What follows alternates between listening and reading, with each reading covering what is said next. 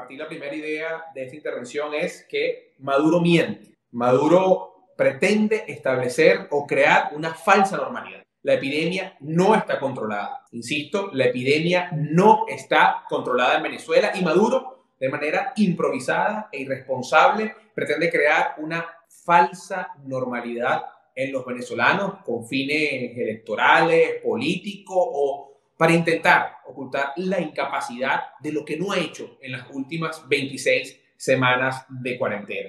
Ustedes saben que nosotros tenemos monitoreo en los hospitales. Ustedes saben que tenemos información de cada hospital de Venezuela, de lo que ocurre, de la situación de nuestros médicos, de nuestros pacientes, de nuestras enfermeras. La dictadura sabe que nosotros no vamos a quedarnos tranquilos y dejar que ellos impongan la verdad oficial o la mentira en este intento de instaurar o crear una falsa normalidad. La primera lámina que voy a compartir con ustedes va a mostrar cómo se encuentran nuestras emergencias. Hoy tuvimos toda la mañana el monitoreo con hospitales en Venezuela, con hospitales grandes, con hospitales pequeños, conversando con los equipos de guardia, con equipos que entregaron las guardias y aumenta el deterioro, aumenta lo que es la ocupación, es decir, no hay camas disponibles en la mayoría de los hospitales de nuestro país. Como ven en la imagen, quienes nos ven en las redes sociales, estas imágenes las vamos a publicar en las redes sociales para que ustedes puedan verla. En este mapa de Venezuela, en rojo, los hospitales o los estados donde está el 100% de la ocupación. De lo que es la semana pasada a esta semana, podemos decir que ha empeorado el estado Bolívar, que tiene 100% de ocupación de sus emergencias, que ha empeorado el estado Miranda, el estado Sucre y el estado del Tamacuro ha empeorado en lo que es la capacidad hospitalaria, reflejando, como ven en el mapa, un porcentaje de ocupación en cada uno de estos estados que se traduce en no hay, que se traduce en ruleteo, que se traduce cuando un paciente con dificultad respiratoria va a alguno de los estados, Sucre, Monagas, Caracas, Vargas, Miranda, Apure, Zulia, y Bolívar, Amazonas, a una emergencia le van a decir, no hay cama, no lo podemos atender, no hay respirador, no hay ventilador, no hay cómo hacerle una tomografía, no hay cómo hacer una rayos X de tórax. Esos que ven ustedes en ese mapa es el monitoreo que cerramos hace algunos minutos del estado actual del sistema de salud a nivel nacional y del nivel de ocupación de sus emergencias para un número de pacientes que, como ustedes saben, afortunadamente no la mayoría, requiere atención hospitalaria. La siguiente lámina que quiero compartir con ustedes es la ocupación de las unidades de cuidados intensivos. De la semana anterior a esta semana, un deterioro o ha empeorado la situación en el estado de Monagas, Sucre, Vargas y la Gran Caracas. Debo decir que hoy en la Gran Caracas no hay capacidad para atender un paciente más. No hay una cama disponible en la Gran Caracas para atender a un paciente con terapia intensiva, cuando hablo de Vargas, Caracas y Miranda. Eh, sigue empeorando la situación en el oriente de Venezuela, sigue empeorando la situación en Zulia, Falcón y Yaracuy. Vergonzosamente debemos reportar que hay dos estados de Venezuela que no tienen camas de terapia intensiva, que no tienen terapia intensiva disponible para los venezolanos. El estado Bolívar y el estado del Tamacuro hoy no cuentan con camas de terapia intensiva para atender, recibir o dar la batalla contra el COVID-19 en estos dos estados de Venezuela. El resto de los estados, como pueden ver los periodistas y medios de comunicación en la lámina que está proyectada, con niveles de ocupación todos sobre el 60% y de una vez alertamos como empieza a colapsar el estado Sucre en este colapso que está, o este ascenso sostenido que tiene el oriente, occidente y centro de Venezuela. Acá vemos la realidad. Nicolás Maduro improvisado y mintiendo lo veíamos queriendo construir una falsa normalidad y es aquí la realidad del centro de la pandemia, nuestros hospitales, nuestras salas de emergencia, nuestras salas de hospitalización, nuestras terapias intensivas, nuestros médicos residentes, nuestros médicos especialistas, nuestras enfermeras, nuestros camilleros, nuestras cameras que están en los hospitales y que hoy sufren, reportan esta información muy distinta a la sensación de normalidad y a la mentira que quiere o pretende reportar Nicolás Maduro. En la siguiente lámina vamos a compartir con ustedes la parte de la manipulación que hace la dictadura a no reconocer el número real de fallecidos. El número real de fallecidos que tiene nuestro país es de 675, como le hemos dicho en todas las pruebas de prensa, incluso nosotros tenemos un subregistro. El subregistro de Venezuela es de los más altos de la región, que está alrededor del 60%. El número de fallecidos que nosotros hemos podido registrar con prueba PCR, con prueba rápida, con clínico, nombre, apellido, ubicación, fecha, hora, hospital, de fallecimiento de manera responsable es 346. Si sumamos 346 venezolanos que lamentablemente han perdido su vida con los que anuncia la dictadura, da un total de fallecidos de 675. Se mantiene la misma tendencia, una tasa de letalidad que sigue siendo aún mucho más baja que la tasa de letalidad de la región, con un subregistro que no hemos podido concretar, que son las personas que empiezan a perder su vida en casa. El venezolano que empieza a perder su vida en casa o que llega a un hospital, como mostrábamos la semana pasada las actas de defunción en la Petare de Santa Lucía, venezolanos que llegan al hospital, como fue ese caso en el Hospital Domingo Luciani, simplemente a perder su vida o al bien morir en una sala de hospitalización donde ya, no hay nada que hacer por el estado del deterioro de estos pacientes, porque o lo o no había una ambulancia, o no había gasolina, o simplemente ante el temor de lo que ha creado Nicolás Maduro en Venezuela, prefiere quedarse en su casa antes de sufrir el destino de ir casi que preso o secuestrado por el SEBIN o el FAES por el simple hecho de tener COVID-19. En la siguiente lámina queremos compartir con ustedes otra data que hemos hecho seguimiento desde el día cero, que es el, el fallecimiento del personal de salud. A la fecha, y un incremento casi del doble en una semana cuando comparamos con la semana anterior, 86 miembros del personal de salud han perdido su vida. 86 colegas, obreros, trabajadores de historias médicas, camareras, camilleros, técnicos, radiólogos, médicos, enfermeras, residentes, médicos especialistas, que engrosan una lista de 86 venezolanos que ya no van a estar, que ya no van a estar en su que ya no van a estar salvando vidas en hospitales públicos de nuestro país. Recordando que Venezuela, los médicos tienen 30 veces más riesgo que cualquier otra persona en nuestro país. Y que los médicos venezolanos tienen 110 veces más riesgo de morir que cualquier médico del mundo. Que una enfermera que hoy esté en nuestro hospital de Pariata o que esté en el Hospital Principal del Estado Bolívar o en la Cheula de, los Andes en el Estado Mérida, tiene 110% más riesgo de morir que una enfermera que esté en Bogotá, en Quito, en Ecuador, en Buenos Aires, en Madrid, en París, en Medellín o en cualquier parte. 110% más riesgo de morir tiene el personal de salud venezolano, con la tasa más alta de mortalidad y con un número ya doloroso de 86 miembros del personal de salud. La reflexión que no nos vamos a cansar de hacer si no hay rayos X, si no hay tratamiento, si no hay agua en los hospitales, si no hay vacuna, si no hay tomografía, si no hay rayos X, si hay miedo, si hay un gobierno incapaz como el de Nicolás Maduro, ¿qué vamos a hacer? Nos quedamos, nos quedamos sin médicos, con quien esté ahí para atender el COVID y las patologías que no son COVID, que siguen cobrando vidas. Por eso todos los esfuerzos que se han hecho desde el gobierno interino, por eso la dotación con el intermediario OPS para llevar material de protección como nuestra prioridad desde el día cero, por eso el bono de la salud para el personal de salud merecido en reconocimiento al esfuerzo que hacen en los hospitales. Y en este particular me voy a detener un minuto. Recordar a un amigo, recordar a quien me enseñó mucho de lo que yo sé hoy en la oncología. El doctor Chan perdió su vida la semana pasada.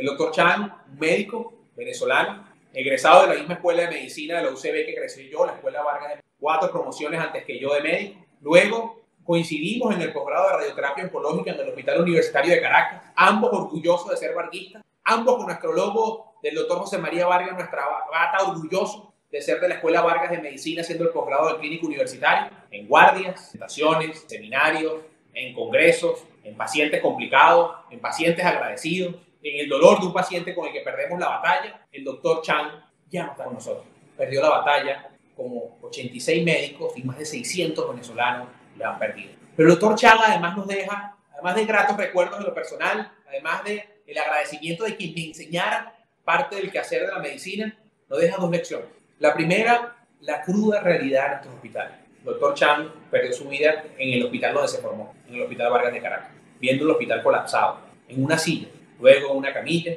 luego colocando historias sus compañeros de promoción para buscar medicina, medicina para tratar sus complicaciones, medicinas para poderse darlo y colocarle un tubo de terapia intensiva. Medicina para darle soporte vital. Medicinas que no hay, medicinas que él sabe que necesitaba y él sabe que no estaba bien. Y ahí perdió su vida. El médico de salud chacao, médico de principios, de valor, un médico que jamás vi decirle que no a un paciente, fue víctima en el Hospital Vargas, los que sufren cientos y miles de de lo que ha sido la razón de nuestra lucha, de que más nunca un venezolano muera por falta de medicina. Así perdió su vida el doctor Chan, en la desesperación de sus colegas, amigos, de buscar cómo conseguían cómo conseguíamos medicinas para atender las complicaciones de un paciente con COVID. Y además el doctor Chan deja en evidencia la manipulación, la mentira de Nicolás Maduro. Nicolás Maduro que pretendía, como ha hecho con estos 86 compañeros del sector salud que no ha reconocido su muerte, el doctor Chan perdió su vida el 18 de agosto y es nombrado casi que con pena el 21 de agosto por Nicolás Maduro. Tres días después es que Nicolás Maduro reconoce la pérdida de un médico, su nueva demostración de desprecio hacia la medicina venezolana, hacia los galenos, hacia las enfermeras, hacia el personal de salud venezolano, se vio en la obligación de reconocer la pérdida, como lo dijo, de un médico y joven que perdió su vida en el barrio. Era el doctor Chan, médico radiooncólogo venezolano que perdió su vida, como cientos de venezolanos, sin tener los medicamentos y bajo la manipulación de la data que hace Nicolás Maduro. Al igual que lo hiciera Valentín, miembro del sindicato de trabajadores, que siempre estuvo en la primera línea para defender a médicos, a pacientes, a trabajadores, quien perdiera su vida en un hospital de nuestro país, cuando le dio su vida al hospital Vargas de Caracas y a la lucha por la salud y la vida de los venezolanos. Para continuar con esta rueda de prensa, en la siguiente lámina, quiero compartir con ustedes lo que es la falsa normalidad. Nicolás Maduro quiere construir una falsa normalidad para tratar de ocultar su incapacidad, su improvisación y recordarles y decirles la epidemia no está controlada. Nicolás Maduro pretende, por el anuncio manipulado de dos días en el descenso supuestamente de los contagiados, hacer ver o, mostrar un camino de que todo está vía a normalizarse. Primero queremos decir que es un acto de irresponsabilidad. Hoy en Venezuela todo el mundo tiene un amigo, un familiar, un conocido, alguien en su WhatsApp tiene COVID-19. Cada vez vemos más cerca la enfermedad en Venezuela. Cada vez hay más miedo. Acabamos de mostrar las cifras del colapso hospitalario, de lo que pasa realmente en los hospitales. Nicolás Maduro sale manipulando las cifras, anunciando un descenso en la data. Un descenso que no corresponde con el comportamiento epidemiológico y un descenso que, como lo advertimos la semana pasada, ellos tenían una decisión que tomar. La dictadura o asumía la verdad y pasábamos al diagnóstico clínico del COVID-19 o asumían el camino de la mentira para tratar de instalar una falsa. Tomaron el camino de la muerte, de la mentira, de la improvisación. No hay descenso de casos en nuestro país. Hay menos casos porque hay menos pruebas procesadas. Hay menos casos porque cada vez se hacen menos pruebas. Hay menos casos porque la gente le da pánico y terror decir que tiene COVID-19. Hay más casos en los hospitales, hay más casos en la terapia intensiva, hay más casos en la emergencia, hay más colapso hospitalario. Los dos marcadores bivalentes, el aumento del colapso hospitalario y la disminución de los casos por cada. Esa es la verdad de lo que ocurre hoy en Venezuela. Y les recuerdo a la dictadura que para decretar, entender o anunciar un control de la epidemia deben tener por lo menos de 5 a 8 semanas un patrón de descenso sostenido en el número de casos. Deben haber por lo menos 5 a 8 semanas la disminución de los casos sostenidas para tú poder anunciar y decirle a la ciudadanía, hemos controlado la epidemia. Quedan pequeños brotes, quedan pequeños focos. No, en medio de la crisis, intentar hacer un anuncio de falsa normalidad, diciéndole a los venezolanos que supuestamente se ha resuelto o está mejorando la pandemia en Venezuela. En la siguiente lámina, además, vamos a demostrar parte de las pruebas de lo que estamos diciendo. La foto que ven a continuación, insisto, las personas que lo ven en las redes sociales se la colocaremos en unos segundos. Ahí está la carpa para COVID instalada en el Hospital Universitario de Caracas. El hospital más grande de Venezuela. Detrás del Hospital Universitario de Caracas queda el Instituto de Higiene Rafael Rangel, donde se procesan la mayor cantidad de pruebas tipo PCR en Venezuela, además del Instituto Venezolano, el IBIC, de Investigaciones Científicas. La carpa para tomar pruebas de COVID-19 en el Hospital Universitario de Caracas, en la capital de la República, está cerrada desde el 23 de julio. Es decir, desde hace más de un mes. Como ven en esa fotografía, una carpa vacía, no se toman pruebas en el hospital universitario. Se acabaron los viroculos.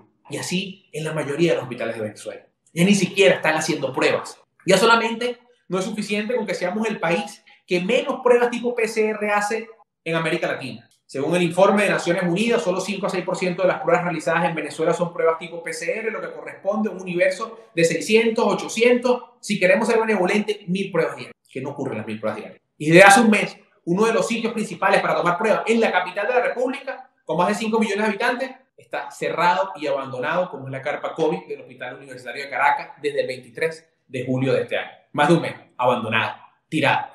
Entonces, no está controlada la epidemia. Y aquí están las pruebas, solamente lo que está pasando, el reporte disminuye porque están procesando y haciendo menos pruebas. Insisto, usted que me ve, usted que me ve, tiene alguien en este momento que le dijo tengo COVID, tengo los síntomas, me voy a hacer la prueba, no hay dónde hacerme la prueba, tengo mi mamá enferma, tengo un vecino, no voy a salir porque el del piso de abajo, el de la vereda de arriba está enfermo. Y la verdad es la que usted este está viviendo y sintiendo, no la, insisto, la falsa normalidad a la que nos quiere llevar Nicolás Maduro con los anuncios y las ruedas de prensa de las últimas horas de la dictadura, llenas de improvisación y llenas de irresponsabilidad. En la siguiente lámina, en parte de este trabajo de decir la verdad, con indignación y vergüenza como venezolano. Desi Rodríguez anunciaba con bombos y patrillos que le pedía a todo el mundo que viniera a donar sangre para hacer un tratamiento con plasma. Que Nicolás Maduro decía que tenía un tratamiento maravilloso que era el plasma, de pacientes infectados para dar a otros pacientes. Es verdad, es una terapéutica nueva, tiene 24 horas de aprobada por la FDA, experimental, es una estrategia experimental, yo estoy de acuerdo.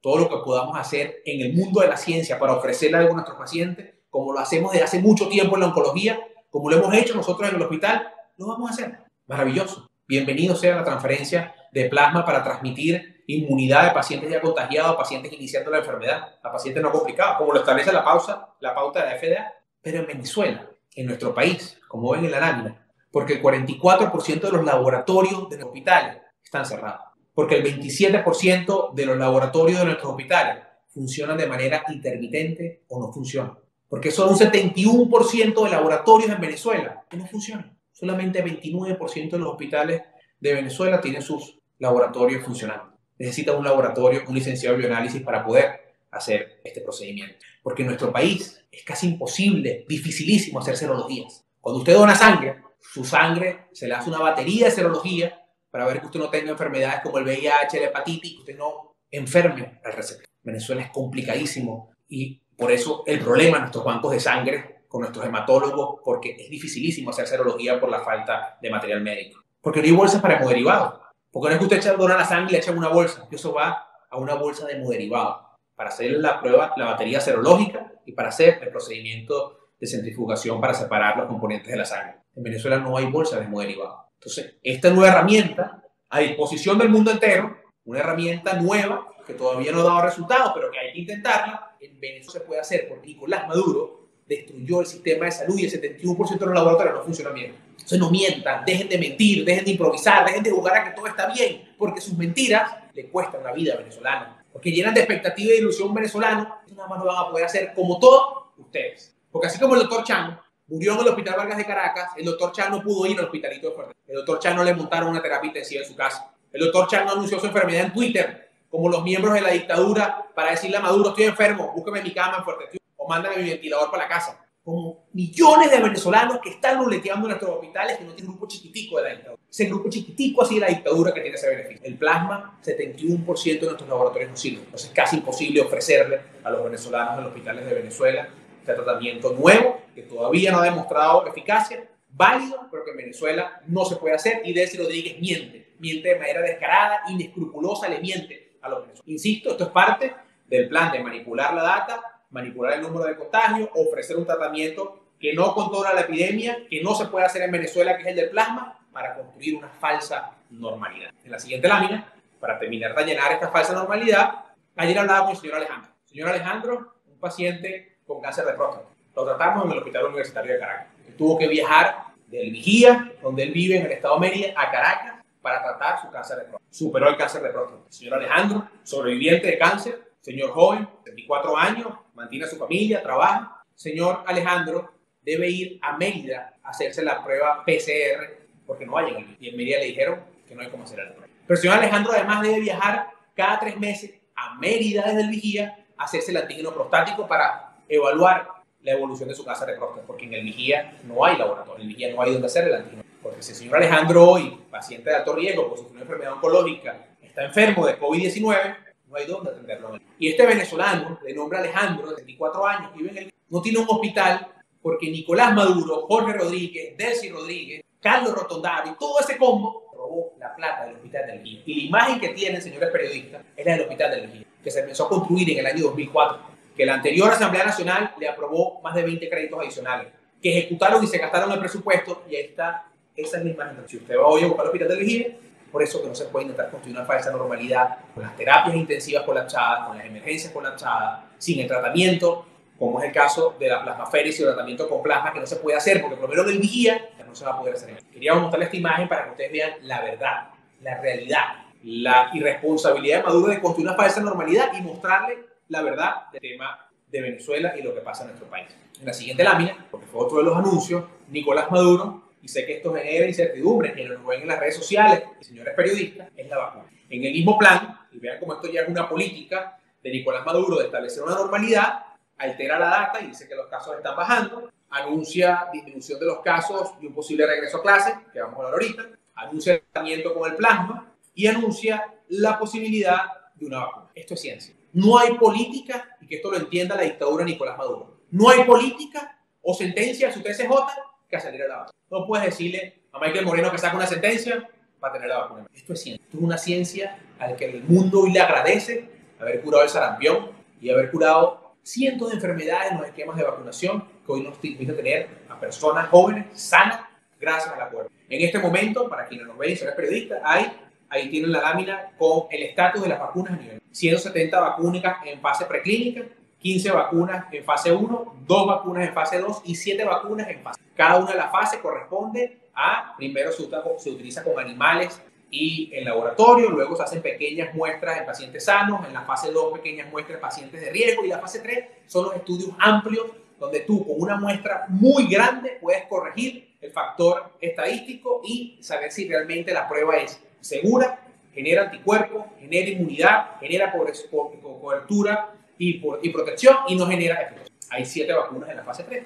Y fíjense que yo aquí no estoy poniendo si es rusa, si es china, si es americana, si es australiana o es israelí. Esto es ciencia. Hay siete vacunas que cumplen con los protocolos, con los estudios clínicos, con los estándares internacionales y científicos para poder ofrecer la vacuna. ¿Qué significa que esté en fase 3? Que van a hacer estudios a muchas personas. Tienes que aumentar y hacer un estudio a 500, 1000, 2000, según tu esquema. Nicolás Maduro lo que ofreció es ser parte del estudio fase 3 de la vacuna rusa. Es decir, conejillo de India. Es decir, hay un grupo de venezolanos se van a seleccionar y le van a poner la vacuna. Y otro grupo de venezolanos no le van a poner. Les explico. Si son 1000 venezolanos, a 500 le van a poner la vacuna y a los otros 500 no le van a poner. Y usted no va a saber si se la pusieron, cómo se la pusieron. Un estudio doble ciego, un estudio donde tú debes comparar los grupos, a ver quiénes se enfermaron, quiénes no se enfermaron, si funcionó el porcentaje de cobertura, porcentaje de inmunidad en el grupo vacunado y en el grupo vacunado. Evidentemente sí que la Eso es, no hay vacuna disponible todavía. Nosotros estamos haciendo el contacto con todos los gobiernos, el contacto con todos los laboratorios, pidiendo información, pidiendo los estudios clínicos, pidiendo los estudios clínicos, revisando para garantizar que nuestro país tenga acceso a la vacuna de calidad. Pero hoy la oferta de Nicolás Maduro en su plan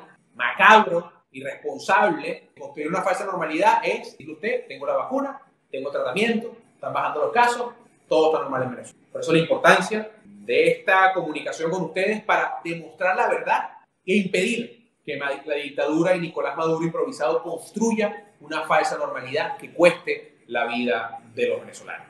Ahí están las vacunas, no hay ninguna aprobada todavía, insisto, lo que ofreció Maduro fuese parte de un ensayo clínico, ser conejillo de India para probar la vacuna. No hay más nada que pueda ofrecer Nicolás Maduro. Insisto, esto no es política. Esto no se trata del gobierno A, verde, amarillo, rojo, azul, del partido tal o cual. Es ciencia, una ciencia que no es nueva, una ciencia que tiene 50 años en el desarrollo de las vacunas. Está más que comprobado que Venezuela además ha sido pionero en los esquemas de vacunación, que hoy lamentablemente tenemos los porcentajes más bajos de vacunación de América Latina, pero es otro tema.